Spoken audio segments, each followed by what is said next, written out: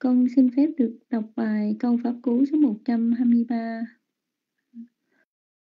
À, ni chô wa pha yang mắt găng Ampasat thô ma hắn tha nô Vi sang chi vi tu ca mô wa Pa pa ni pa ri wat cha ye Wa ni chô wa pha yang mắt găng Ampasat thô ma hắn tha nô vi sang chi vi tu ca mô wa pa pa ni pa ri wat cha ye ít bạn đường, nhiều tiền.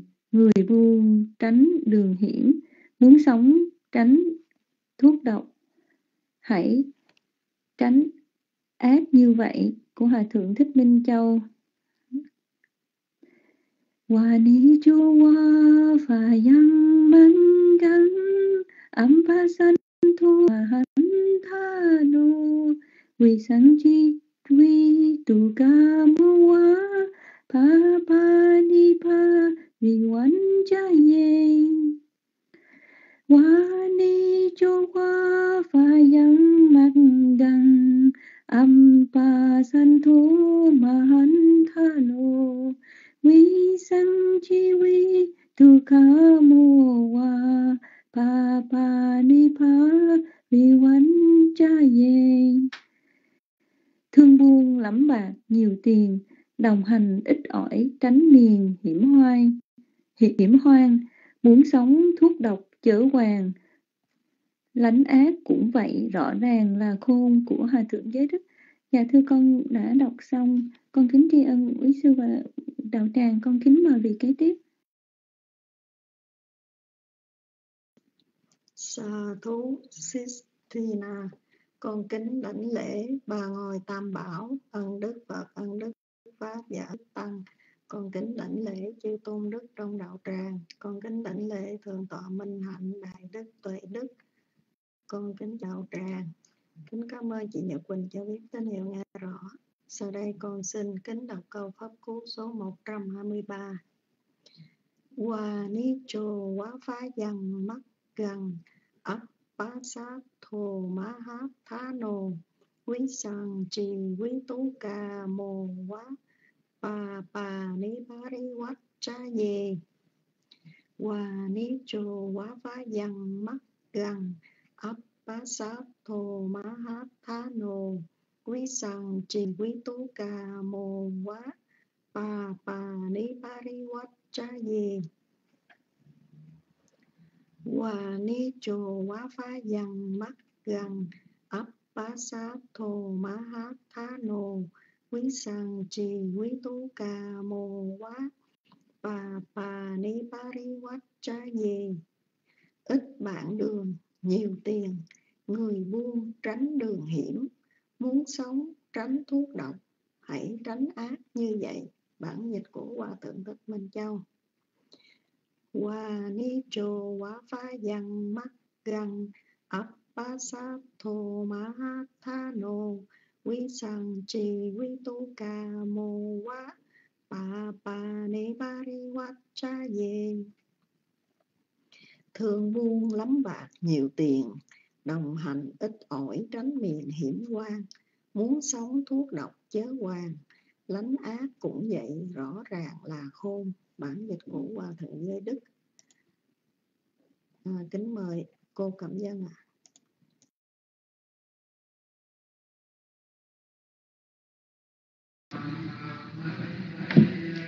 Dạ Nam Mô bút Thà Giá Nam Mô Tham Ma Giá Nam Mô Sang Kha Giá. Con kính định lễ Đức Phật Con kính định lễ Giáo Pháp Con kính định lễ Đức Tăng. Con kính định lễ Thượng Tọa Minh Hạnh, Đại Đức Tuệ Nhẫn, Đại Đức Tuệ Đức cùng chư Tôn Đức. Kính chào quý cô tu nữ cùng quý đạo hữu trong room Con xin đọc ôn bài câu pháp cú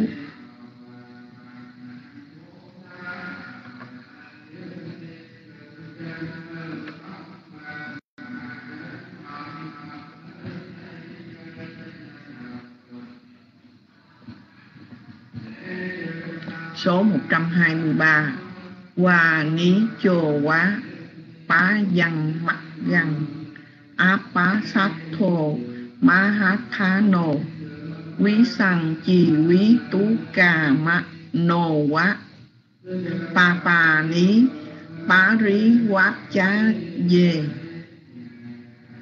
qua ní chô quá, bá văn mặt găng áp bá sát thô má hát thá nô quý sang chi quý tú ca mô quá. Pa pa ní pa rí quát, chá, dê. Qua ní chô, quá, phá văn mắt găng áp, bá. Sát thô, má, háp, thá nô quý sang chi quý tú ca mô quá. Pa pa ní pa rí quát, chá, dê ít bạn đường nhiều tiền. Người buôn tránh đường hiểm, muốn sống tránh thuốc độc. Hãy tránh ác như vậy, bản dịch của hòa thượng minh châu.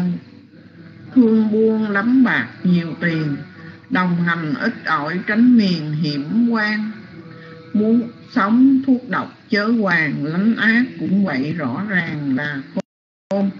Bản khổ thơ của hòa thượng giới đức dạ con đã ôn bài xong mến mời bàn tay huynh quát thanh á. Sa thu sa thu lành thầy sita cẩm vân. Nam mô phật tha nam mô tham ma nam mô sảng kha gia kính đảnh lễ ba ngôi tam bảo, đức phật giáo pháp và chư tăng. Kính đảnh lễ chư đại đức tăng, trong đạo tràng kính chào toàn thể các quý đạo hữu trong rung. Dạ con xin được kể kinh pháp cú số 123 Wani chowa payang magang apasato mahat thano vi chang chỉ vi tu cả mô wa pa pa ni pariwa cha ye Wani chowa payang magang apasato mahat thano vì sang chỉ vì tu ca mô va, pa pa ni pari va cha ye. Va ni cho va pa yang ma gang, a pa sa tho ma hat tha no. Vì sang chỉ vì tu ca mô va, pa pa ni pari va cha ye. Ít bạn đường nhiều tiền người buôn tránh đường hiểm, muốn sống tránh thuốc độc, hãy tránh ác như vậy. Bản dịch của minh châu. Thương buôn lắm bạc nhiều tiền, đông đồng hành ít ỏi, tránh miền. Hiểm hoang, muốn sống thuốc độc chớ quàng, lánh ác cũng vậy, rõ ràng là khôn. Bản thủa thơ của ngài giới đức. Nam mô phật thà gia dạ toàn trình được dùng mít. Là kính mời xích cho thuyền nhá, không thấy bàn chay nào hết rồi. Mời xích. Dạ sa thủ sa thủ kính cảm ơn Huynh Quách Tha Ná. Năm Mô Bích Tha Giá, Con thành kính đảnh lễ. Đại Đức Tuệ Nhẫn cùng chư Tôn Đức vừa quan năm vào đạo tràng Như Quỳnh kính lễ quý bà, quý cô, tu nữ. Như Quỳnh kính chào quý anh, chị em đạo hữu gây vào đạo tràng. Và cảm ơn Đặng Đông cho Nhật Quỳnh biết được tín hiệu. Anh chị ơi à, Người ta nhậu thì nhậu. Mình cứ lên đọc kinh đi hành kiểm Được không, anh kiểm Alo hạnh kiểm cho nhật bình một tín hiệu, rồi cái hạnh kiểm cứ đọc kinh đi. Người ta nhậu người ta nhậu giống như đại đức tự đức vậy đó. Ta hát thì ta hát là mình đọc kinh thì mình cứ việc đọc kinh mời hạnh kiểm ngàn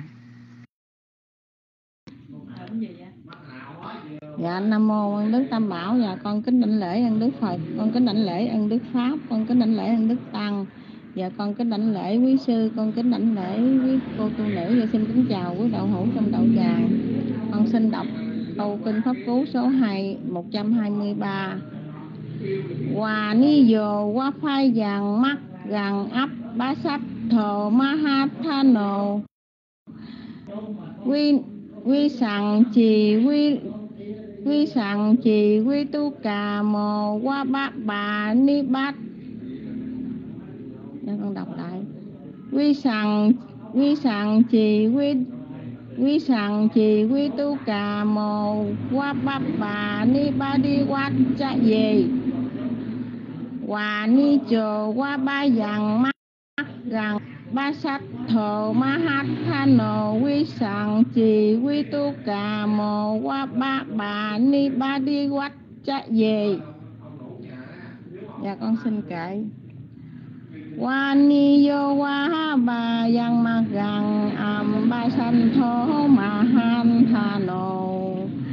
Vi sang chi vi tu ca mô wa ba ba ni ba đi quát cha về dạ con xin đọc bản dịch của hòa thượng thích minh trong. Ít bạn đường, nhiều tiền người luôn tránh đường hiểm. Muốn sống tránh thuốc độc. Hãy tránh ác như vậy. Là, là bản dịch con đọc bản dịch của hòa thượng giới đức. Thương buôn lắm bạc nhiều tiền đồng hành ít ỏi đồng hành ít oi tránh miệt hiểm. Quan muốn sống thuốc độc chớ hoàng làm ác cũng vậy rõ ràng là khôn. Dạ con đã đọc bài à, câu kinh pháp cú số 23 xong. Con có sai thì xin đạo tràng sửa với sư sửa giúp con ạ. À. dạ con xin dân mít lại cho đạo tràng. Xạ thú xạ thú kính cảm ơn sư thành kiểm rất là nhiều. Dạ, Nam Mô Bút Tha Giá Một lần nữa con thành kính thanh lễ chư Tôn Đức Nhật Bình kính chào đạo tràng. Dạ, con xin được ôn bài câu Pháp cú Kinh số 123 Dạ, cảm ơn Minh Quát Hà Á cho bài học.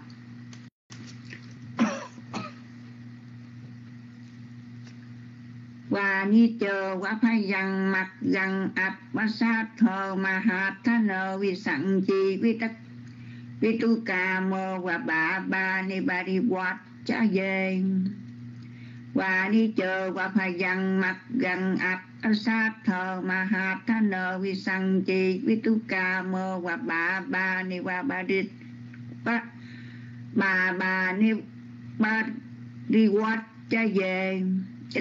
Bạn đường nhiều tiền người buôn tránh đường hiểm. Muốn tránh thuốc độc, hãy tránh ác như vậy. Dạ cảm ơn Đặng Đông cho Nhật bình biết được tín hiệu. Và ni chô qua và dẫn mắt găng áp ba sát thơ mà hạt tha nô vì sẵn chi quy tù cả mô qua mã ba ni ba đi hoạt gia về. Và ni châu qua và dẫn mặt găng áp ba sát thâu mà hạt tha nâu, vì sẵn chi vi tù cả mô qua. Bà ba ni ba, thì quạt cha vàng. Thương buôn năm bạc nhiều tiền, đồng hành ít ỏi trên miền hiểm hoang. Muốn sống thuốc độc chở hoàng, đánh ác cũng vậy, rõ ràng là không. Dạ đây là bạn hồ thơ của ngài hòa thượng giới đức. Con thành kính đảnh lễ tri ân chư tôn bình kính cảm ơn đạo tràng. Và sa thủ sa thủ lành thai chúng con thành kính đảnh lễ tri ân. Đại đức tề đức đã tuyên phong ôn bài pháp của kinh số 123 Nhật bình kính cảm ơn Xích Hành Kiệm, minh Quát Tha Ná, Xích Rạng Đông, Xích Thi Na. Và Cẩm Vân đã hoan hỷ lên ôn bài. Dạ, bây giờ thì còn sớm 3 phút, nhưng con thấy Đại Đức Tuệ Nhẫn đã vào đạo rồi. Dạ, con xin phép được thỉnh Pháp Sư để chị Hương vào dạng sớm. Ồ, Tâm Phương ơi, Tâm Phương có vào có ông bài không? Nếu có ông bài thì đưa bàn tay không thì Nhật bình khóa sổ ạ. À alo tâm phương rồi mời ông bài ngàn chứ không là nhật bình khóa sổ rồi hello. À, cảm ơn anh nhật huỳnh. Mới mới vừa chạy vào đây. Dạ con uh, tâm phương con kính à, uh, định lễ ân đức phật ân đức pháp ân đức tăng và nam mô Bố tha giá. Nam mô tham ma giá nam mô sanh khai giá. Dạ con kính lễ chư đại đức tăng với cô tu nữ Mến chào tất cả phật tử. Dạ kính cảm ơn huỳnh quá thá ná ừ, đã cho biết anh rõ và bớt bài dạ. Dạ chị Đằng đông chị nhật huỳnh dạ anh chị Trần Đạo và con xin um, qua oh chạy được qua đi chô qua pa yang mắt gần apa sát thổ ma tha nô vi sang chi vi tu ca mô quá pa pa ni pa ri pa cha ye qua ni yo qua pa yang mắt man mắt gần apa san tô mahathano vi sang chi vi tu ca mô quá pa pa ni pa ri qua cha về ít bạn đường nhiều tiền. Người à, buông buôn buôn người buôn tránh đường hiểm. À, muốn sống tránh thuộc thuốc độc hãy tránh ác như vậy và đó bản dịch của hòa thượng thích minh châu. Thương buôn lắm bạc nhiều tiền đồng hành ít ỏi tránh miền hiểm hoang. Muốn sống thuốc độc chớ hoàng lánh xa cũng vậy rõ ràng là khôn. Dạ à, con thấy còn có một phút nữa thì thôi con xin đọc kệ nhường lại cho chị nhận à, chị nhật huỳnh à, đọc tiếp ạ. à.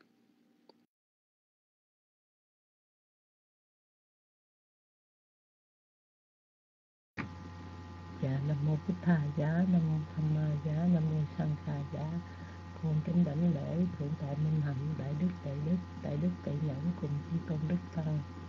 Kính lễ với cô tu nữ à, kính chào với anh chị đồng đạo tràng à, con xin uh, kể câu kinh pháp cú số 123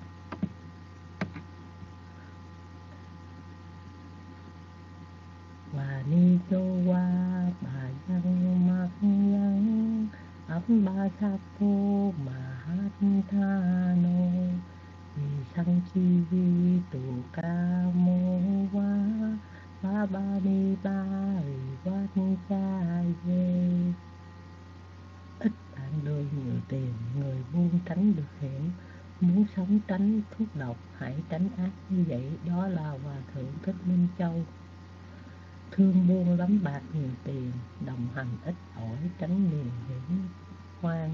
Muốn sống thuốc độc chớ hoàng, lẫn ác cũng vậy rõ ràng. Là con, đó là phổ thơ của hòa thượng với đức.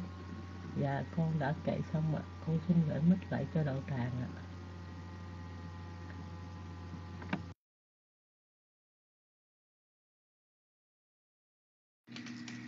Dạ sa thủ sa thủ kính cảm ơn Sư Tâm Phương Sư Trần Đạo, Trần Đạo rất là nhiều.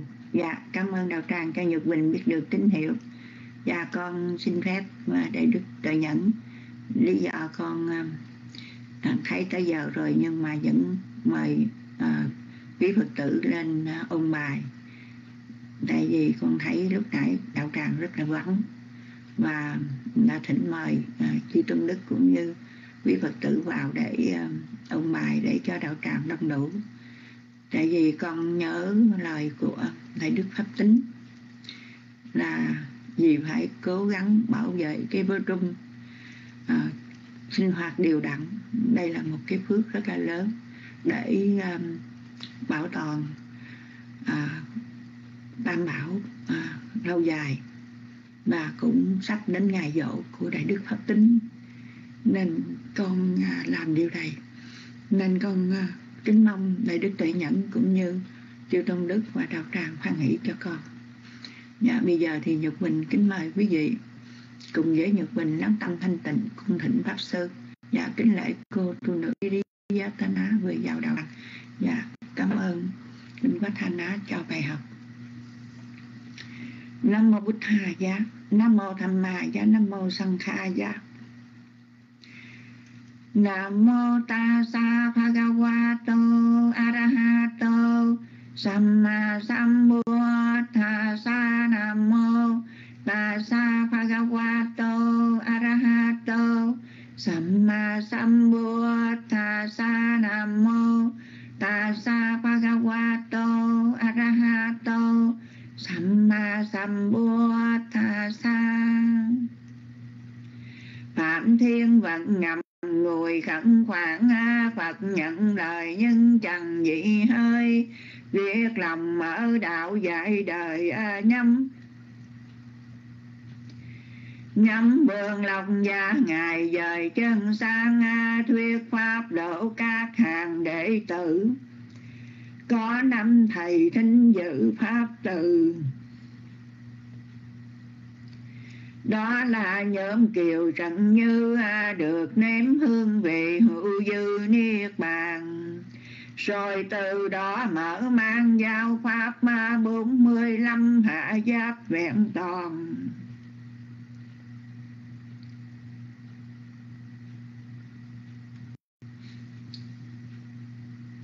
Một lòng chẳng thôi bốn mươi lăm hạ giáp vẹn toàn một lòng. Dạ con con xin sám hối với đạo tràng ạ. À. con không có kèm được xúc động, con xin sám hối á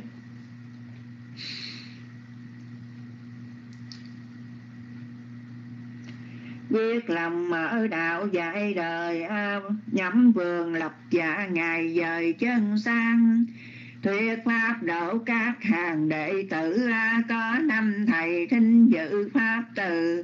Đó là nhóm kiều trận như được nếm hương vị hữu dư niết bàn.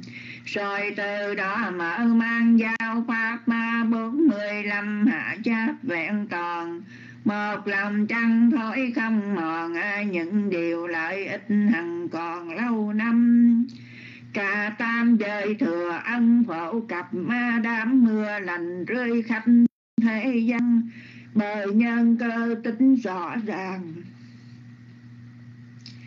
Thỉnh ngài thuyết pháp nói đàn tự bi, chúng sanh ngồi khắp chốn ni, tối mê cầu được trí tri vẹn toàn. Năm mô bích hai giá dạ và đầu tràng chúng con đang trang nghiêm thanh tịnh con xin thay mặt đầu tràng thành kính đảnh lễ cung thỉnh đại đức tuệ nhẫn. Từ bi hoan hỷ đăng đàn để chúng con được học. Từ vựng duyên sự và ý nghĩa câu pháp cú kinh số 124 Nhật Quỳnh kính chúc đầu tràng một buổi học pháp được an vui tiến hóa. Dạ con kính dân bích đến sư ạ.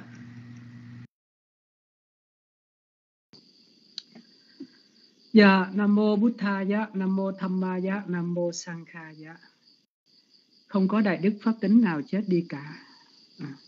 Chỉ có cái thấy sanh ra và chết đi, cái nghe sanh ra và chết đi, cái ngửi sanh ra và chết đi, cái xúc chạm sanh ra và chết đi, cái cứng mềm sanh ra và chết đi, cái nóng lạnh sanh ra và chết đi, cảm thọ sanh ra và chết đi, tham sanh ra và chết đi sân sanh ra và chết đi si sanh ra và chết đi chấm niệm sanh ra và chết đi sắc sanh ra và chết đi không có đại đức pháp tính nào sanh ra và chết đi cả những cái gì sanh ra đều phải chết đi liền tức khắc. Chưa có một ai sanh ra ở đời này cả, nên là cô Nhật Huỳnh phải nhớ pháp, học pháp, không phải để đông người, học pháp để trở thành giải thoát. Và các zoom rất là nhiều, ai học pháp cũng đều tốt cả, giàu ít, giàu nhiều. Không quan trọng mà chúng ta hãy học đúng pháp. ừ nhớ rằng từ sáng đến giờ cái thấy cái nghe tham sân si sanh ra rất nhiều chết đi nhưng mà không ai quan tâm tới nó hết á. Người ta chỉ quan tâm tới tôi nhà cửa của tôi con cái của tôi và những cái pháp nó đang hiện diện ở đó mà chúng ta không thấy không biết. Như vậy thì chúng ta thấy một ngày chúng ta có học pháp nhưng mà vô minh nhiều hay là thiện nhiều sân nhiều hay là hay là tham nhiều si nhiều. À, hãy à, hãy dựng lên ngọn cờ mà đức phật à, đã đã đã, đã ban bố cho chúng ta cái chánh pháp. Ừ. Đức, đức pháp tính không có chết đi. Quý vị nên nhớ là chỉ có cái thấy chết đi cái nghe chết đi cái ngửi chết đi cái nếm chết đi cái cứng mềm nóng lạnh chết đi cái cảm thọ chết đi cái suy nghĩ chết đi trong từng khoảnh khắc của nó.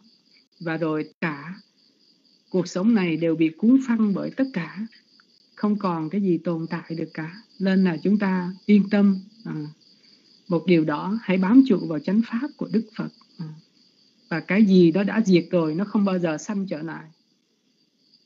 Và một đời sống mới đã được hình thành rồi. Nên quý vị không có phải à, không cần phải nghĩ gì cho nó cả. Dầu quý vị có khóc hết nước mắt đến kể cả cạn cả cái biển này cũng không bao giờ tìm thấy được những cái sắc la của cái thấy hồi sáng mà nó đã diệt đi cái nghe hồi sáng mà đã diệt đi cái ngửi hồi sáng mà đã diệt đi. Và ngày mai quý vị thức dậy cũng vậy thôi.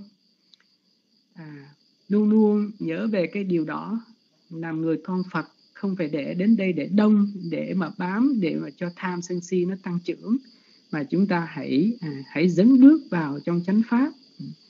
Ngày lại qua ngày thôi ngày mai lại cái nghe đến ngửi đến nếm đến xúc chạm đến không còn cái gì nữa cả quanh quẩn ở trong thế giới này chỉ có đất nước lửa gió thôi.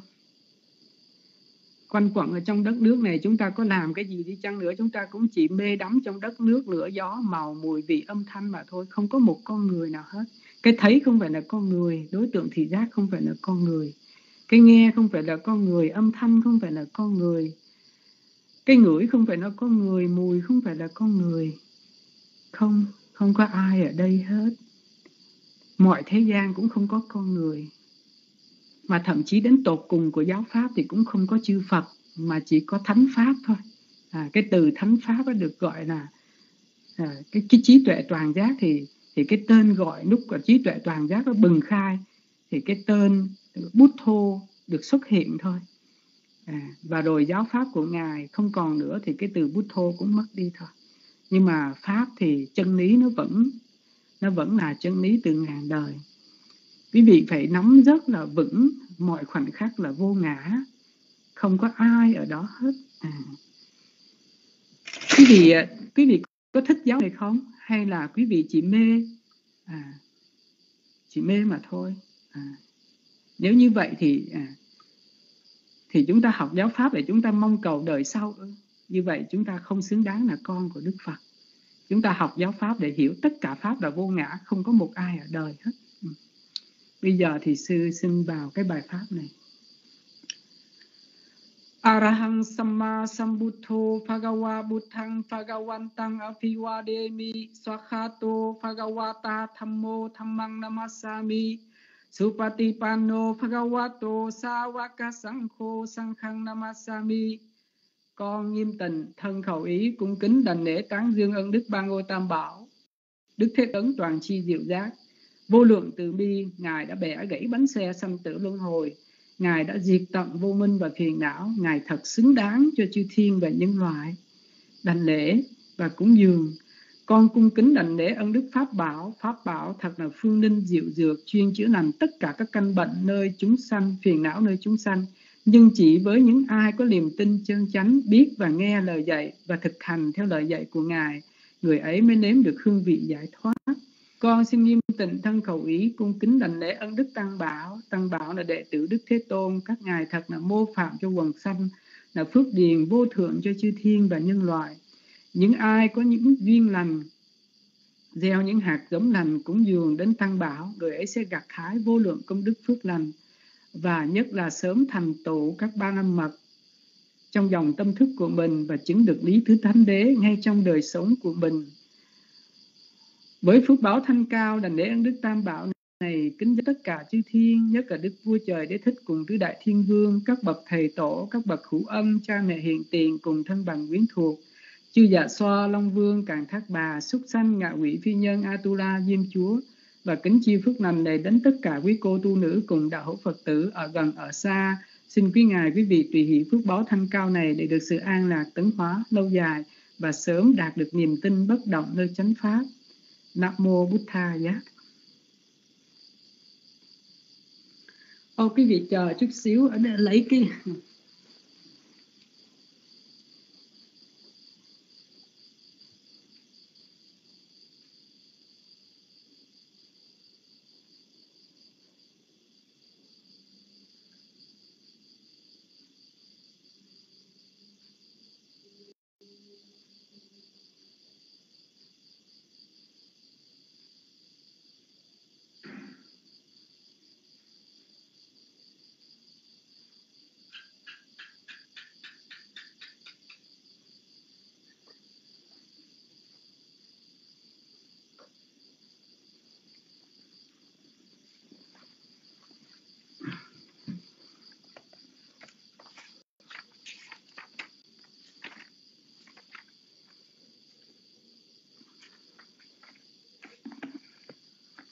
Dạ, hôm nay thì chúng ta học à, bài kệ số 124, à, bài kệ Pháp Phú. À, kính bạch chư đại đức tăng, à, chúng con xin đọc bài kệ 124 này ạ.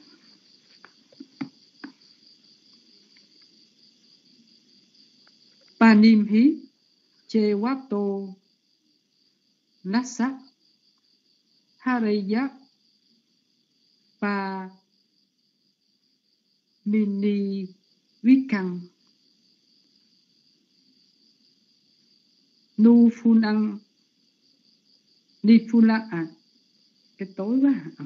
nu phulang whatsapp bun về tí tí pa ác ak aku patho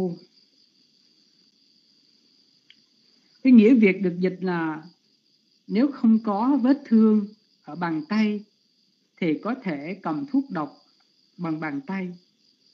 Thuốc độc không ngấm vào chỗ không có vết thương, không có điều ác của người không làm ác.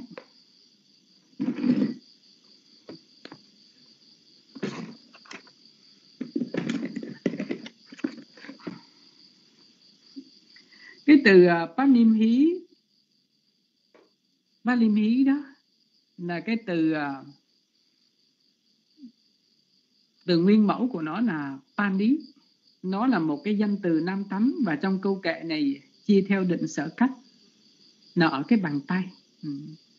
và chúng ta biết là cái bàn tay của chúng ta thì nó rất đặc biệt. Rất là đặc biệt. Khi bàn tay của chúng ta mà nó không có thương thì chúng ta cầm bất cứ cái loại thuốc độc nào. Nó không bao giờ, nó làm tổn thương. Nó không ngấm thuốc độc vào trong thân thể. Chúng ta chỉ cần rửa tay sạch sẽ nè. À. Thuốc độc nó hết. Ừ. nhưng mà khi cái bàn tay của chúng ta nó bị sức mẻ thì chúng ta cầm cái thuốc độc thì nó sẽ nhiễm vào. Nhiễm vào máu và máu nó truyền vào các tế bào thì các cái tế bào này nó sẽ nó hủy diệt các cái tế bào. Và chúng ta sẽ bị nhiễm độc và chết. À. còn cái từ quát nô quát ná là một cái danh từ nam tánh chủ cách là vết thương hay là vết tích. Còn cái từ à, lá đó là hai cái hai cái từ gọi là lá cộng với át xá át xá cái căn của nó là căn át, và ở đây nó là cái động từ, ở đây chia theo tha động từ. Là lên là, thì là, hay là trở thành trở thành. Và tiếp theo nữa là cái từ ha ha ha ha cái căn của nó là căn ha đây nói nó cũng là một cái động từ. Đó là động từ à, phải là có thể cầm có thể cầm có thể cầm. Cái từ panina à, cái từ pani thì cũng cũng chỉ là nó là một cái danh từ năm tánh ở đây chia theo. Sử dụng cách là bằng hay là bởi bằng tay. Hay bằng tay.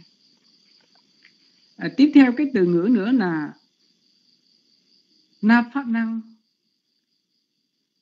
Thì nó cũng là hai cái từ ghép lại, nó là một cái hợp từ, là cái từ áp phát năng cộng tiếp đồng ngữ của nó là lá. Áp phát năng tức là nó là một cái tính từ nam tánh và câu kệ này chia theo đối cách là không thương tích, là không thương tích. Tiếp đồng ngữ á là không ha. còn cái từ à, cái từ quý xăng quý săn là quý xá, là một cái danh từ trung tấm chia theo chủ cách. Thuốc độc.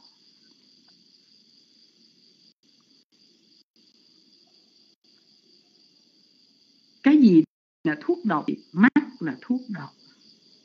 Tai là thuốc độc. Mũi là thuốc độc. Lưỡi là thuốc độc. Thân là thuốc độc.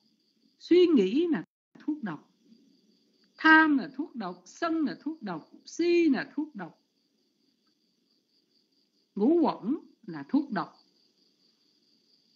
Quý vị biết ngũ quẩn là thuốc độc không? À. ngũ quẩn là thuốc độc. Chấp thủ tà kiến là thuốc độc.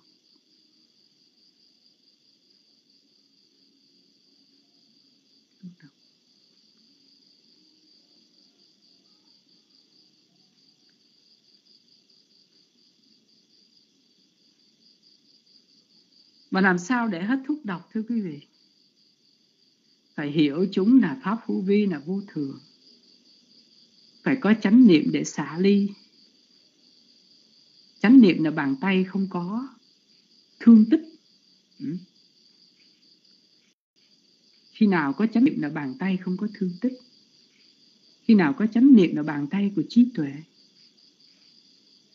là không có thương tích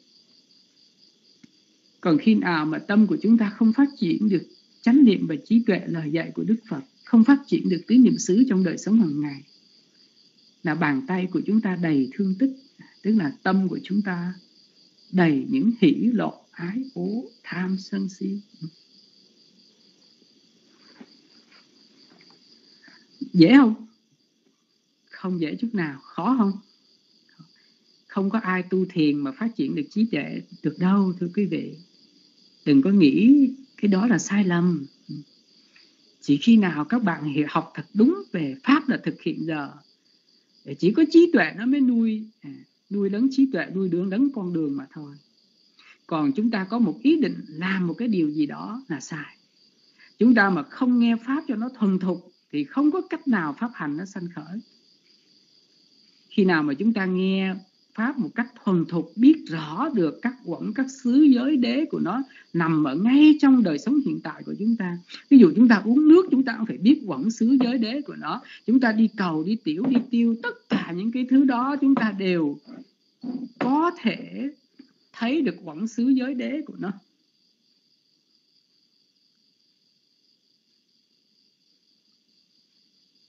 Chứ không phải là chúng ta nghĩ là ai chả nói là mắt này là là, là nhãn xứ.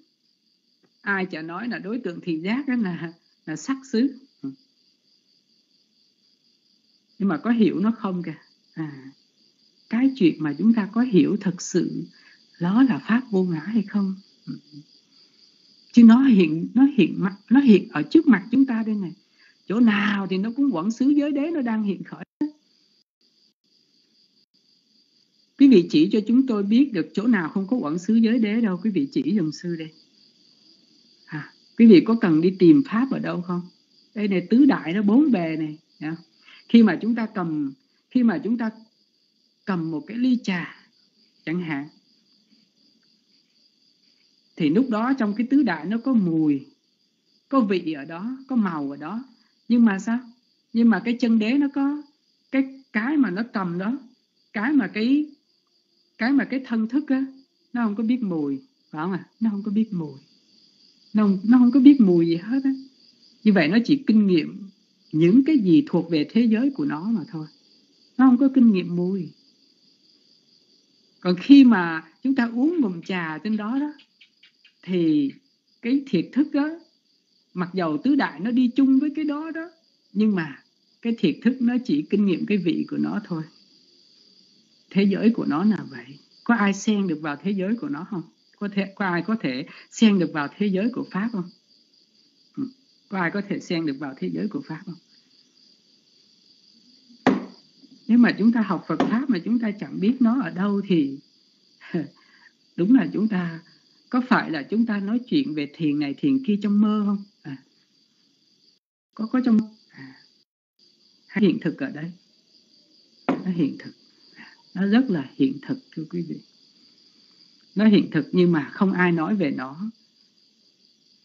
Thì nó không bao giờ, tâm nó không bao giờ biết đến nó. Mà kể cả nói về nó đi chăng nữa, mà nói sai về nó một chút thôi, nó cũng đi lệch pháp hết. Nó đi lệch pháp hết. Nó không bao giờ, không bao không bao giờ mà hiểu được pháp đó. Mặc dầu chúng ta nói hoài, nhưng mà cũng không bao giờ hiểu được nó đâu. Nó ở trước mặt chúng ta đây nè nên là đức phật dạy ra chánh niệm trước mặt để làm gì? Quý vị biết không? Ừ. là pháp nó đang hiện diện. Ừ. ừ. pháp nó đang hiện diện. Nhưng mà pháp nó đang hiện diện mà chúng ta không biết về nó thì chúng ta đi tìm một cái thế ngồi nào đó để tìm pháp thì có phải là chúng ta đang sống trong mơ trong vô minh không? À, đúng không? Cái đang sanh đang có mặt thì chúng ta không, hoàn toàn không biết gì về nó hết. Để chúng ta đi tìm nó ở đâu đó thì có phải là chúng ta đang rất là mơ. Và trong khi đó chúng ta nói pháp của đức phật, chúng ta nói có vẻ rất là cao siêu nhưng mà cái bình thường nhất trong đời sống hàng ngày, chúng ta chưa hiểu về nó. Và cả cuộc đời của chúng ta chúng ta chỉ chơi trò chơi trên bảy cái sắc này thôi là chúng ta đã chưa hiểu rồi này đó là màu mùi vị, âm thanh, cứng mềm, nóng, lạnh. Bảy cái sắc thô đó và trên năm căn này là 12 cái sắc thô này thôi. Và chúng ta thấy chúng ta còn chưa hiểu nó. Và chúng ta nói rằng là tứ niệm xứ thì nó sanh ở đâu? Phải không? Đó. hàng ngày thế giới, dầu chúng ta biết hay không biết thì chúng sanh.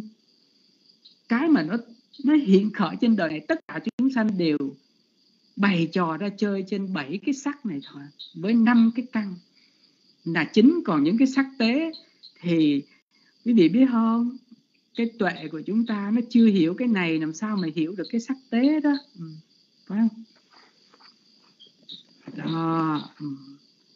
Rồi chưa hiểu cái đó là làm sao mà hiểu vào tâm nữa thưa quý vị à, chưa hiểu vào tâm những cái này mà chúng ta chưa biết quẩn nó ở đâu xứ nó ở đâu giới nó ở đâu rồi là cái thuốc độc nó như nào rồi làm sao để không có thuốc độc à, để không nắm vào cái thuốc độc đó. Ừ. Ừ.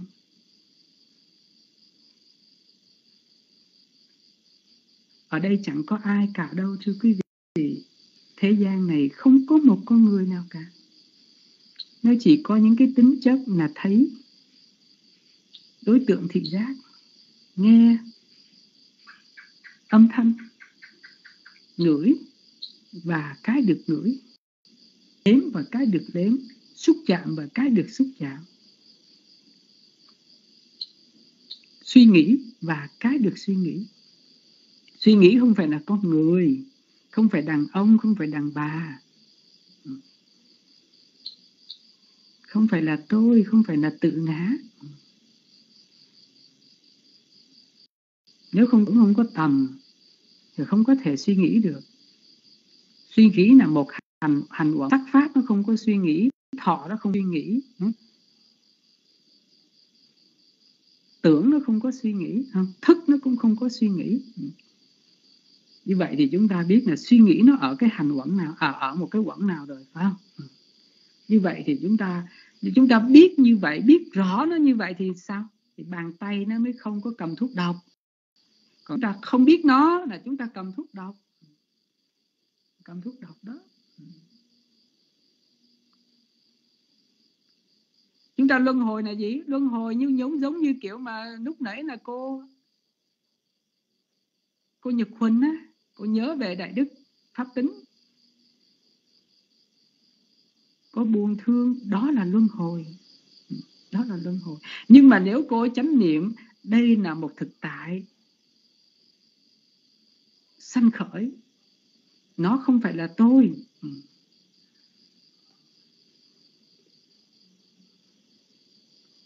Và quý vị theo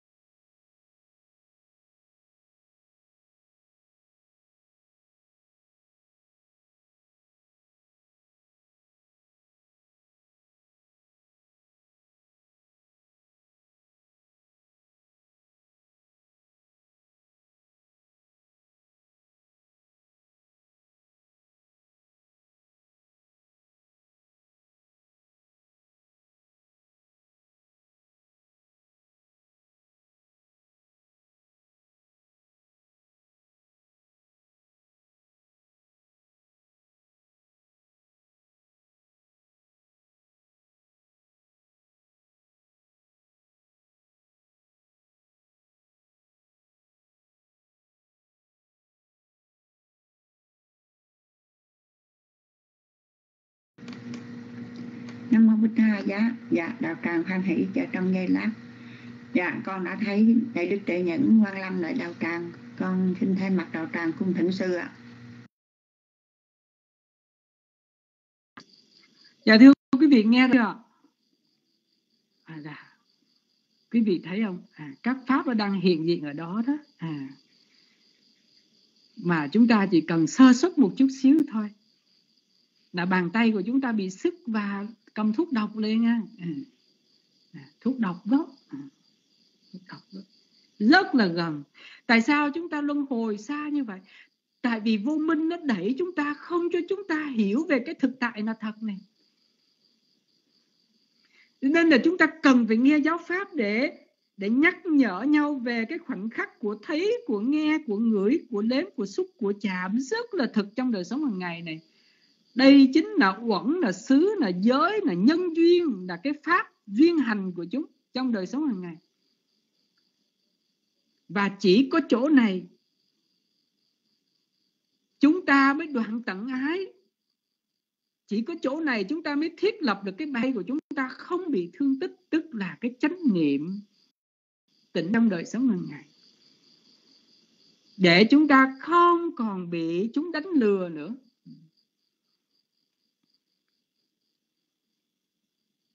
Tham sân si. Nó gần không? Nó rất là gần. Chúng ta tưởng đâu nó xa lắm không phải. Pháp giác ngộ ở đây thưa quý vị. Ừ. Cũng gần lắm. Ừ. Nó xa tại vì nó vô minh. À, nó xa tại nó vô minh. Ừ. À, về thuốc độc đó còn cái từ an vê tí là nó ngấm vào nó mưng lại nó đưa đến theo sau. Tiếp đồng ngữ á đú là sau với dọc theo. Nếu mà chúng ta không phát triển được chánh niệm trong tứ niệm xứ trong đời sống thì cái thuốc độc tham sân si này nó cứ ngấm vào mắt vào tai vào mũi vào lưỡi vào thân và vào ý. À, nó ngấm hoài. Và quý vị có thấy nó ngấm không? À, không phải không? Từ sáng đến chiều từ sáng đến giờ quý vị có khoảnh khắc chánh niệm nào không? Không phải không? Ừ. Thậm chí có khoảnh khắc chánh niệm nhưng mà cũng không có trí tuệ để hiểu nó là chánh niệm nữa. Phải chỉ khi nào có trí tuệ mới biết rõ được chánh niệm. Như vậy cho chúng ta thấy rằng là chúng ta tìm mọi cách tu tập thì nó cũng không bao giờ giác ngộ được hết. Mà chỉ có mỗi một con đường duy nhất đó là nghe diệu pháp. Nghe nghe và suy tư cho nó thật là sâu sắc và nó thật là rạch ròi về các pháp trong đời sống hàng ngày. Rồi cái gì đến, nó sẽ đến. À.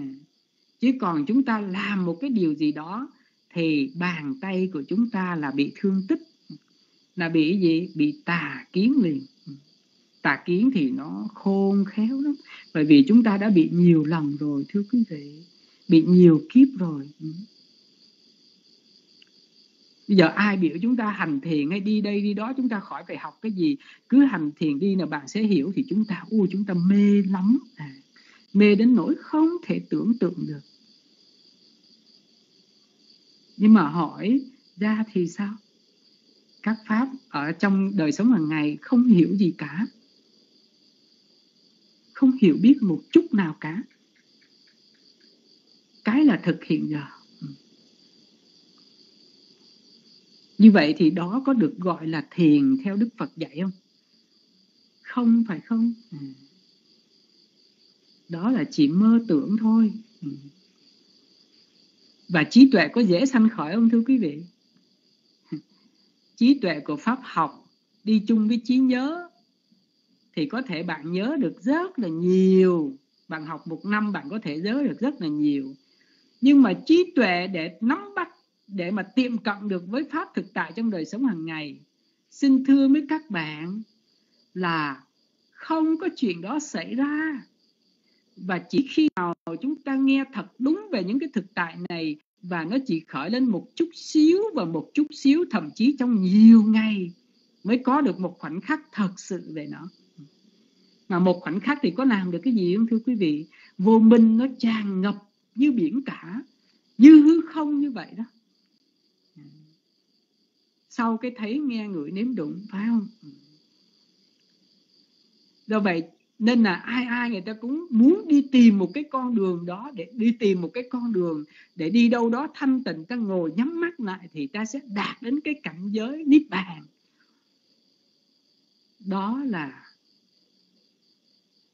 đó là cái chỗ chết của của giáo pháp đức phật mà những cái người đi vào không có chịu tìm hiểu, học cho nó đoàn hoàng, lắng nghe diệu pháp, thưa quý vị. Và những cái con người như vậy bây giờ rất rất là nhiều. Vẻ bề ngoài thì chúng sanh tung hô, nhưng mà ở bên trong thì xin thưa mấy quý vị rằng là pháp của đức phật bị hủy diệt đó là một sự thật. Nếu không có pháp học thì có cách nào mà cái pháp hành nó sanh khởi được không? Không có đâu thưa quý vị không bao giờ có được. Mà pháp học ở đây không phải là chúng ta học năm con số 10 con số 8 con số mà học về cái pháp nó đang xuất hiện trong đời sống hàng ngày này, này khi mà thân của chúng ta nó tiếp xúc thì cái gì là danh mà cái gì là sắc? Khi mà chúng ta thấy cái gì là danh và cái gì là sắc? Khi chúng ta nghe cái gì là danh cái gì là sắc?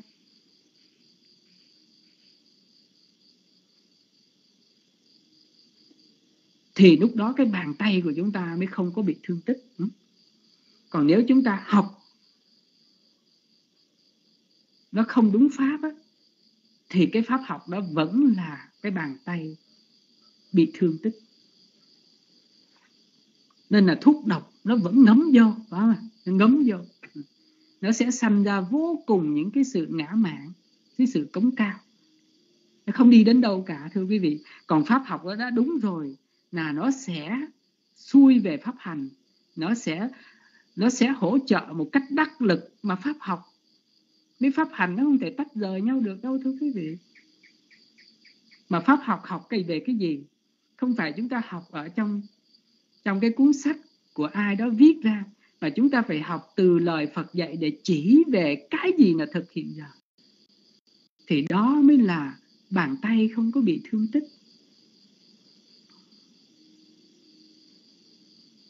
Nó mới không ngấm vào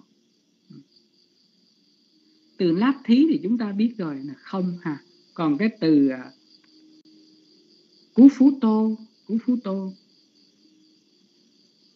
Cú phú tô là là một chia theo ở cái câu này là hiện tại phương từ à, nam tánh là đối với người không làm của người không làm. Ở đây ngài thích minh châu ngài dịch là bàn tay không thương tích có thể cầm thuốc độc không thương tích chánh độc không làm không có ác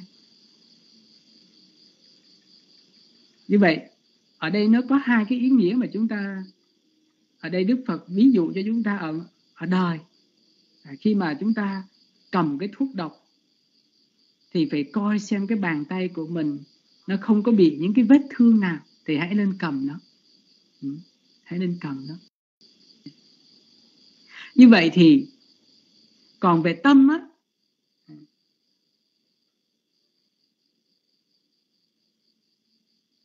thì phải gì? Phải có giới. Có định, có tuệ. Phải biết được cái con đường phát triển chánh niệm tỉnh giác.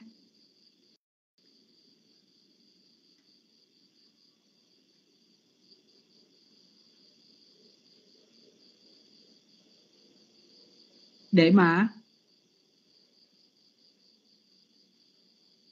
tâm này nó không có bị ngấm độc. Ừ. Ngấm độc.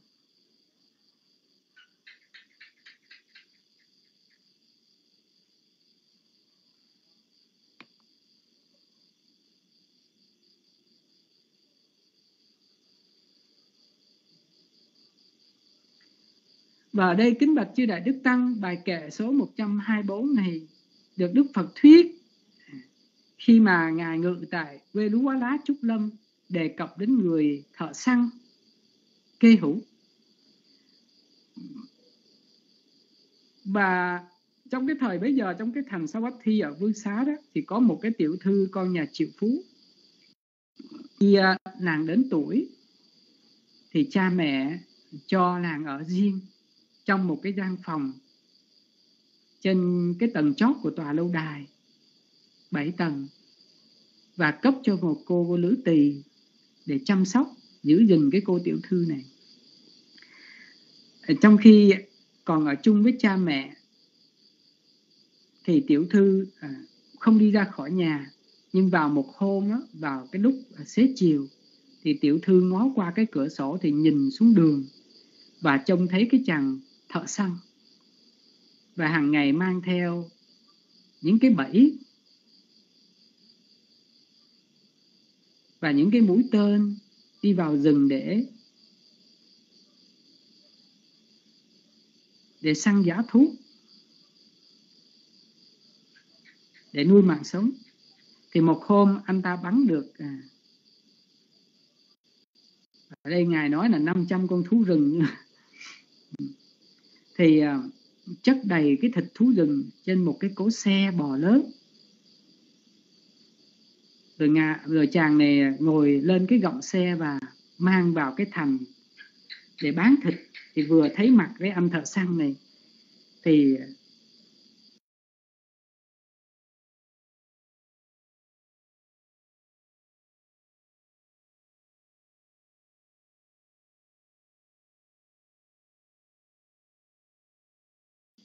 chàng tiểu thư lòng luyến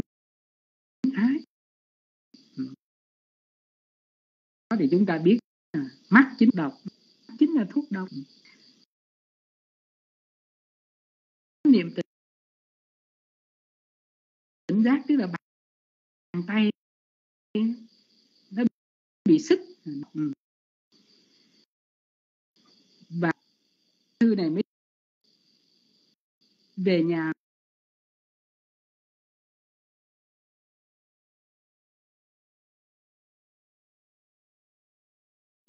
rất là tương tư là mấy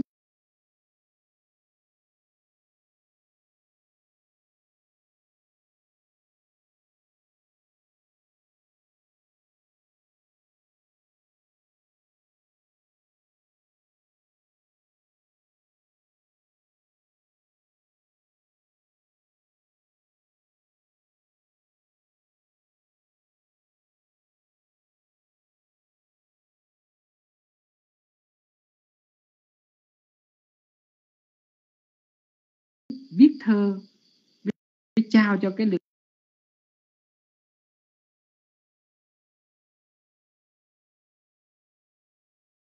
tứ tùy và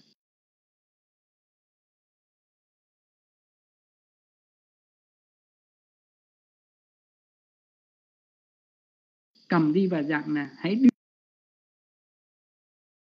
đưa hãy nằm mà đưa được cái cái thơ này cho cái anh chàng đó. Và hãy điều tra để biết chừng nào mà khi anh ấy ờ, sẽ đi rồi trở về. Tử tỳ này ờ, đem ờ, đem tôi trao cho cái anh thợ săn hỏi hỏi chừng nào anh sẽ đi. Thì hôm nay nó hôm nay thật sáng mai cửa cái tùy xem theo đi à, xe ra xin anh à, cứ tiểu thư chung với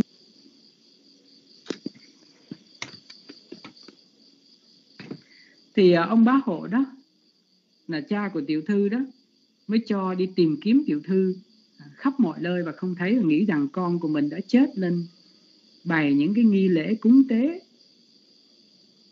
còn tiểu thư thì lại chung sống với cái anh chàng thợ săn này. Và lần hồi thì có được à, bảy cái người con trai. À, khi con trai khôn lớn thì tiểu thư à, lo bề ra thất cho chúng và để cầm chân chúng lại. Thì một hôm vào lúc gần sáng đó, thì đức thế tôn xả thiền rồi quán xét thế gian. Thì thấy cái anh à, này cùng với các con dâu và lọt vào cái võng chí của ngài. Ngài quán thêm nữa thì thấy tất cả những chúng sanh này thì đều có cái căn là đắc quả tu đồ vờ cho lên sáng sớm hôm sau thì ngài đắp y, mang bát, đi ngay đến gần cái bẫy sập của anh kê hữu. Thì chúng ta thấy rõ ràng gia đình này chín người người ta săn bắn như vậy, nhưng mà người ta đâu có hành thiền gì đâu. Hả? Người ta đâu có biết trước để hành thiền gì đâu tại sao ta đắc quả vậy thưa quý vị? Tại vì được nghe lời pháp của đức phật. Ừ. Nghe lời pháp của đức phật. Như vậy pháp nó đã hiện diện ở đó. Phải không ạ? À? pháp thì luôn luôn nó hiện diện bởi vì chỉ có pháp hiện diện thôi. Bây giờ có pháp gì không? Bây giờ đang có cái thấy, đang có cái nghe đang có nóng nặng, cũng đang có cảm xúc wow. cũng thậm chí có người đang sân hận nữa. Rồi có người đang chăm chú, nghe nữa. Có người lơ đễnh, có người chán. Tất cả cái đó đều là pháp hết.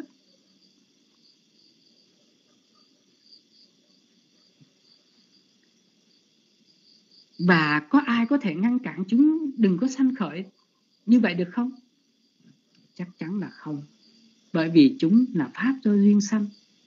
Chúng vô thường, khổ và vô nạn.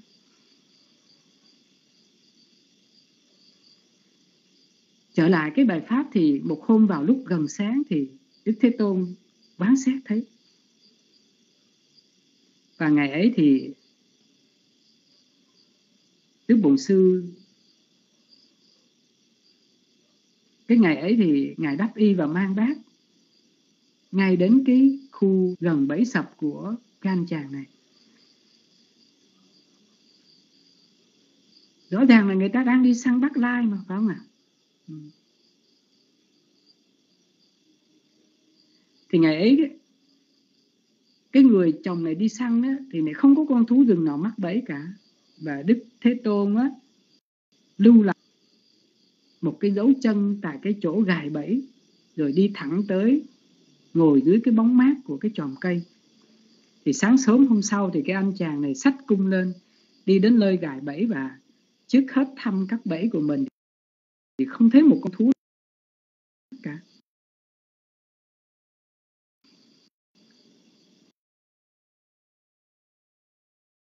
Mà lại thấy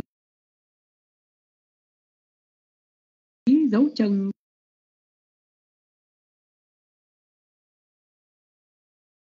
tôn lưu lại. Ở đó đó và anh ta nghĩ thầm ai, ai đã đến đây thả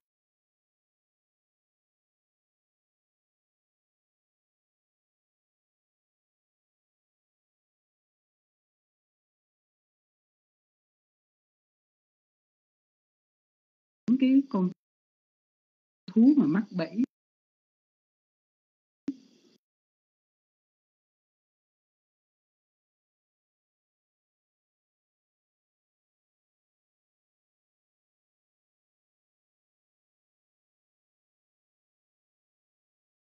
Của ta vậy.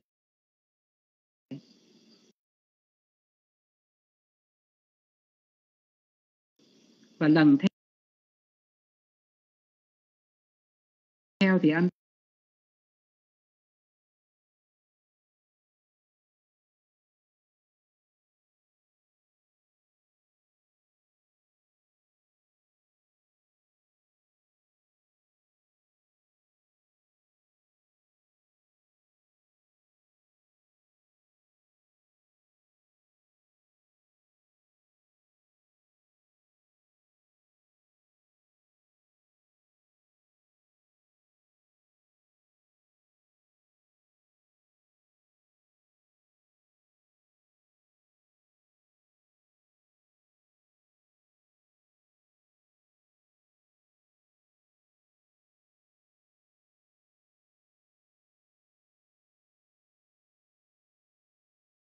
thấy Đức Thế Tôn.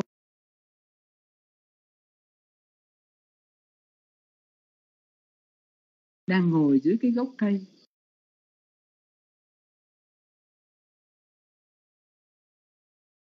An lành. Thì anh tâm trái. Của ít chết. Tên. Mà anh bảo, bà mẹ vào giờ cha cự ta bên ngoài. Thì khi ấy mẹ rồi là những cái làng dâu cũng vậy. À, và khi ấy của chúng là tiểu thư con ông bá hộ bảo hãy vứt bỏ cái cung tên và sám hối với với người cha của mình. Thì đức biểu đức thế tôn mới biết à, biết tâm của cha con người thợ săn đã dịu mềm xuống. Thì liền à, cho phép họ hạ cung xuống và tất cả đều đến đảnh lễ đức thế tôn và bạch.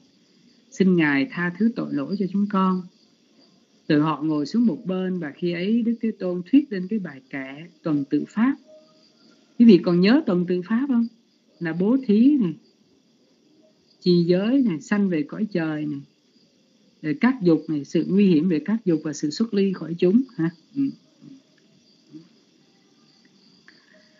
Ở cuối thời Pháp thì người thầy sanh cơ hữu và các con dâu thì tất cả 15 người đều đắc quả tu độc hoàng.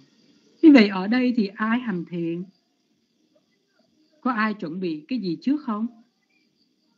Không thưa quý vị, giác ngộ là Pháp rất tự nhiên. Chúng ta hãy lắng nghe diệu Pháp một cách thật là kỹ càng. Có thể một nhành hoa chúng ta cầm lên, chúng ta một ngày nào đó chúng ta sẽ thấy được sự thật của nó.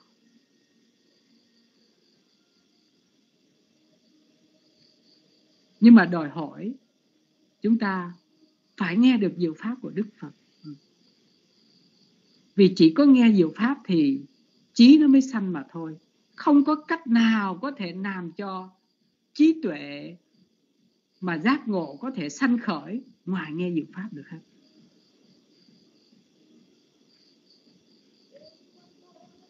Tại sao chúng ta chưa giác ngộ? Vì chúng ta chưa nghe đủ, chưa hiểu đúng vậy chứ không phải chúng ta chưa hành thiền đủ. Nhớ như vậy, không có chuyện đó xảy ra.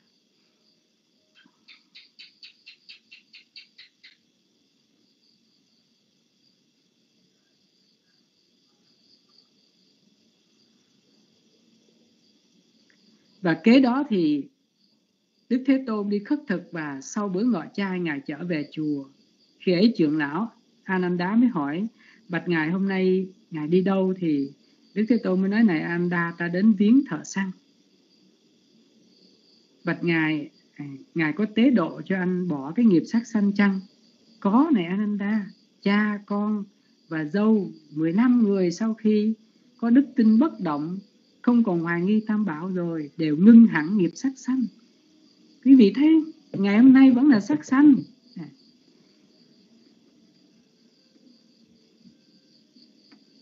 các tỳ khu mới hỏi bạch ngài, thế còn vợ anh ta có đắc quả thánh không? Này các tỳ khu vợ anh ấy khi còn là con gái ở nhà, với cha mẹ đã đắc tu đồ quần rồi. Đắc tu đồ quần nhưng vẫn theo trai như thường, bình thường, phải không ạ? Vì thánh cũng là theo trai, phàm phu ờ, ờ, cũng cua trai, phàm phu ờ, đừng vợ gả chồng còn đẻ thêm bảy đứa nữa là không?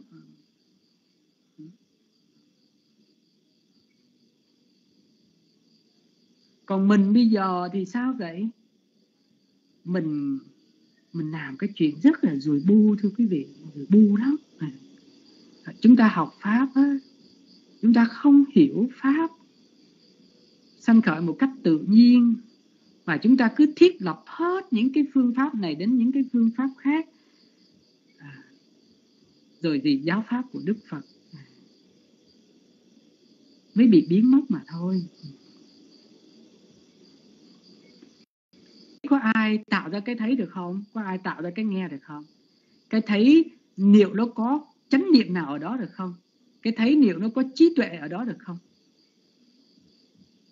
Dầu nó sinh đến muôn triệu lần, muôn tỷ lần, nó cũng không bao giờ có chánh niệm, không bao giờ có trí tuệ, không bao giờ có tham, không bao giờ có sân, không bao giờ có si, không bao giờ có thọ khổ, cũng không bao giờ có thọ lạc.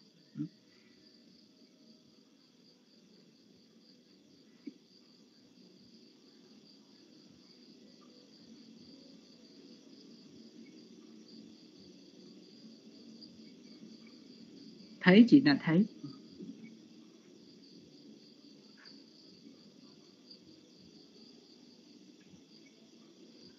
Có phải là chỉ có trí tuệ? Tự thân chúng nuôi dưỡng mà thôi phải không ạ? À? định liệu có nuôi dưỡng được trí tuệ không? À, định có sanh ra được trí tuệ là chỉ có trí tuệ sanh ra trí tuệ. Định thì tâm nào cũng có hết tâm tham cũng có định thấy nghe ngửi nếu đụng không có định thì nó không bắt đối tượng được ừ. nhớ như vậy. Định nó sẵn có ở trong tất cả tâm. Không có tâm nào, không có định cả. Nhưng mà tâm nào đi với trí tuệ thì tâm đó mới là chánh định.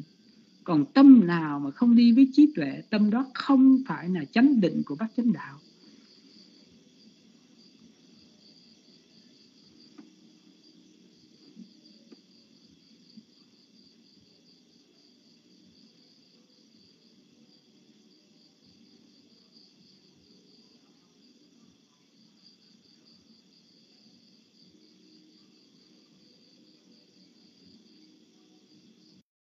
Đức Phật nói này các tỳ khu, khi mà các tỳ khu lúc bấy giờ đó thì đáp nhau lại để khỏi cái câu chuyện này và nghe nói vợ của cái người này khi còn là con gái mà đã chứng đắc tu đầu hoàng, rồi mới về làm vợ của cái anh chàng thợ săn này.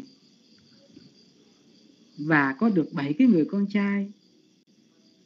Bấy lâu nay, mỗi lần chồng bảo đem cung, đem tên, đem dao găm, đem lao đem lưới tại đây. Với quý vị thấy không? Quý vị nếu mà chúng ta không có chánh kiến như này chúng ta học cái bài này mà chúng ta không có chánh kiến thì sao? À quý vị thấy không? À, chánh kiến nó khác lắm. Chánh kiến cũng là cái việc làm đó. Cũng là đưa tên đưa dao đó.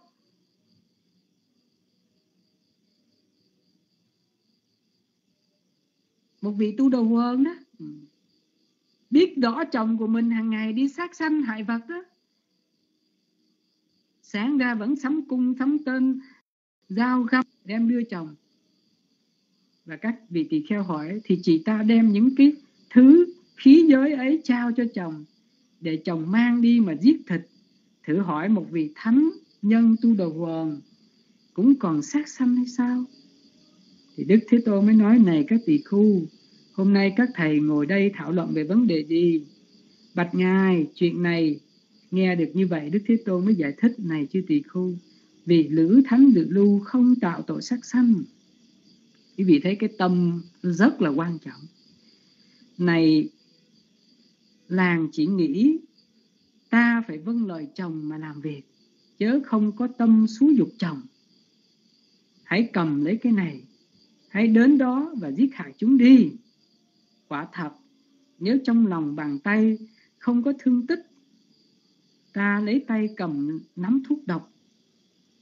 Thuốc độc không thể đốt lòng, không thể đốt lòng bàn tay. Ta như thế nào thì chúng cũng như thế ấy.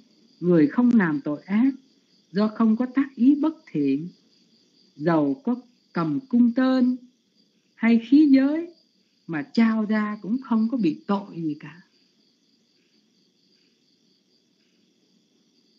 Bài kinh này cho chúng ta một cái bài học rất sâu sắc. Về cái gì vậy, thưa quý vị? Về tà kiến và chánh kiến. Ừ. Về tà kiến và chánh kiến. Tà kiến là mạng thuốc độc. Một loại thuốc độc. Tà kiến vừa là loại thuốc độc mà vừa là bàn tay có thương tích nữa. Ừ. Còn chánh kiến là vô nhiễm và là bàn tay không có thuốc độc. Không có thuốc độc.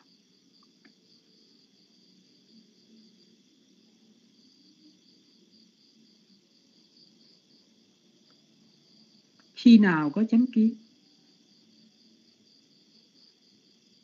Khi nào quý vị cầm một cái gì đó? Quý vị chỉ thấy cái cứng, cái mềm và cái xúc chạm biết cái cứng mềm ở đó mà thôi.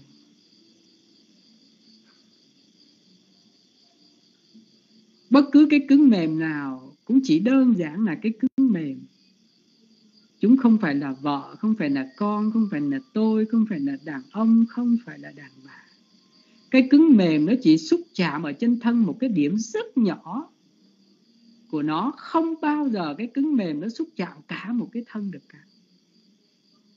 Nó chỉ ở một điểm duy nhất của nó thì lúc cái điểm duy nhất của nó thì cái xứ cái xứ của nó cũng ở đó, cái giới nó cũng tụ hội ở đó, cái quẩn của nó cũng tụ hội ở đó và nó tan biến ở ngay tại đó. Ừ.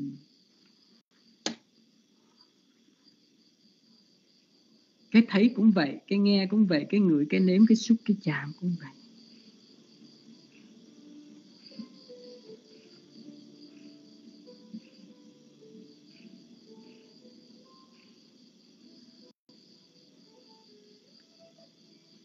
Thật khó để cho chúng ta thật sự rằng là thực ra không có con người nào cả.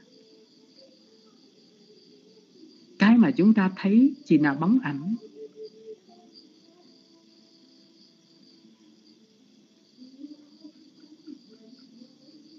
Cái mà chúng ta nghe chỉ đơn giản là âm thanh. Nếu không có tứ đại thì không có âm thanh mà cũng không có hình ảnh gì hết. Nếu không có cái cứng mềm thì cũng không có màu, không có mùi, không có vị gì cả. Như vậy thế giới này chỉ có hai thứ. Đó là các sắc vô chi và cái kinh nghiệm đó mà thôi. Mà mỗi thì kinh nghiệm cái vô chi khác nhau. Như là cái thấy thì kinh nghiệm cái vô chi khác cái nghe thì kinh nghiệm một cái vô chi khác nữa. Cái ngửi thì lại kinh nghiệm một cái vô chi khác nữa. Cái nếm thì lại kinh nghiệm một cái vô chi khác nữa. Cái xúc chạm này kinh nghiệm một cái vô chi khác nữa. Như vậy để cho chúng ta thấy, chúng ta đã mê cái vô chi này đến vô lượng kiếp rồi.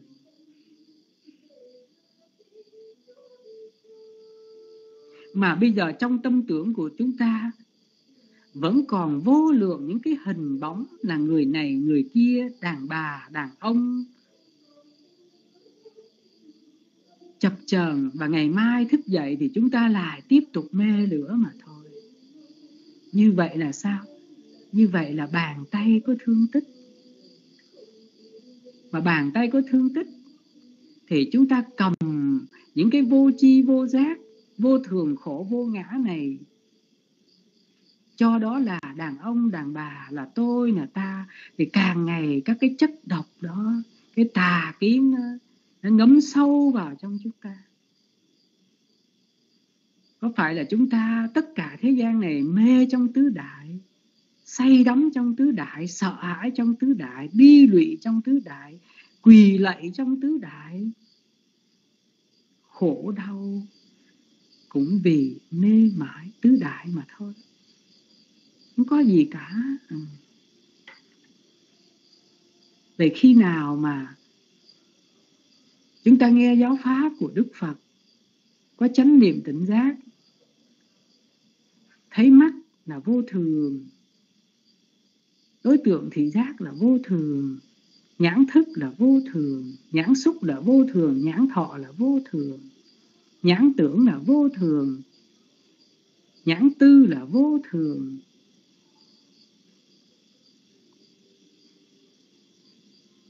Lúc đó, chúng ta thực thấy, thực biết, thì bàn tay của chúng ta không có.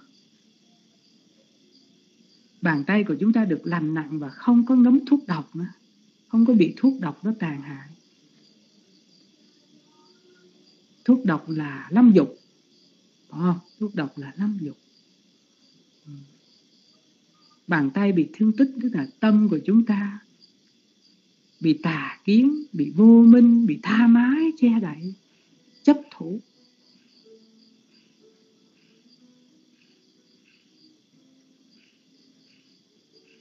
Vậy thì bài kinh này Đức Phật đã dạy là bàn tay không thương tích có thể cầm thuốc độc, không thương tích tránh độc, không làm thì không có ác. Không làm thì không có ác. Vậy chúng ta không thể nào mà không làm ác được nếu như mà chúng ta không phát triển chánh niệm. Nghe lời Phật dạy, ngày nào mà tà kiến còn dẫy đầy, tham sân si trong đời sống hàng ngày, chúng ta không nhận diện rõ được chúng thì sao vậy? Thì không có cách nào mà chúng ta không cầm thuốc độc hết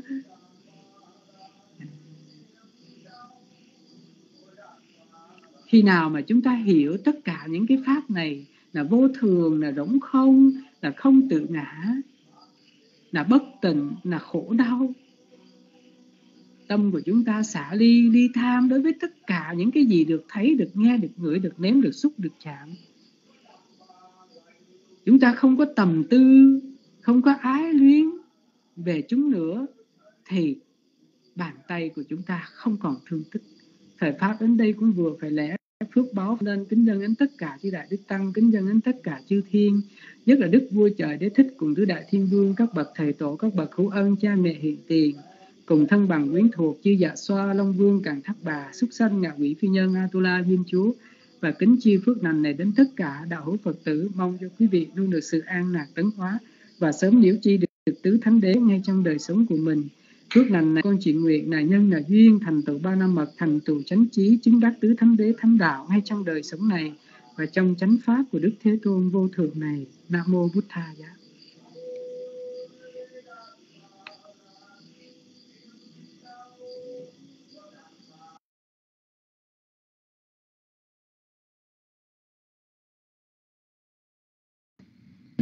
Và sa thú sa thú lành thai.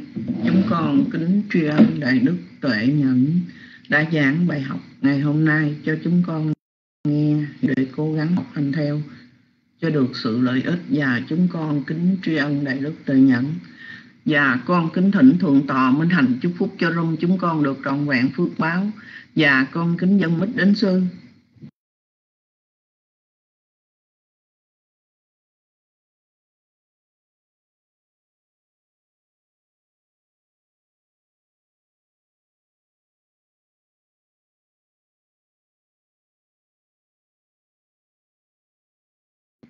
Và con kính thỉnh thượng tọa minh hành chúc phúc cho rung chúng con được trọn vẹn phước báo và con kính dân mít đến sư.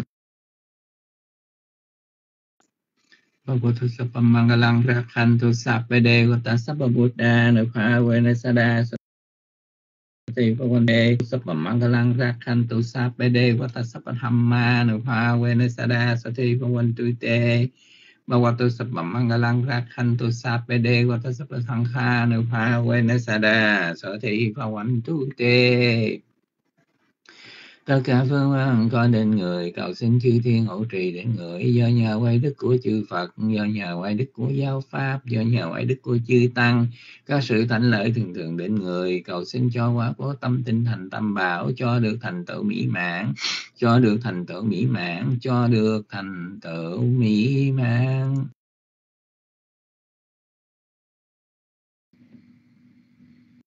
Và sa thú sa thú lành thai.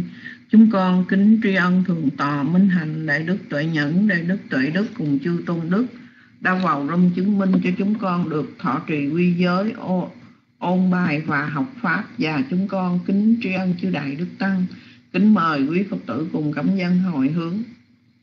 Gia đây quá ta santi quy ha ra qua si đi thu pe ga re bồ thi ga re tại hình tại hình ta tham ma đa đề na pa quan tu vu chi ta.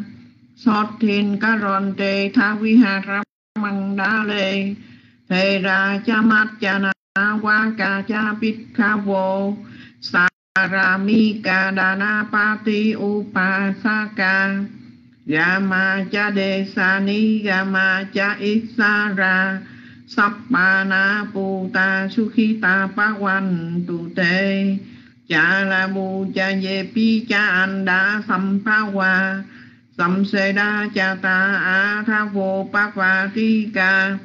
Ni ya ni căng tham ma wa sang pa ti cha te sap pe pi đúc kha sa kha ron tu sang kha yang tha tu chi rằng sa tăng thẩm mô. Thầm ma tha ra cha vô ga la sang cô hồ tu sa mắc cô qua atha ya cha hi ta ya cha âm hề ra khan tu sắc thầm mô sắp bê pi thầm ma cha ri nô Vút thêm ya ma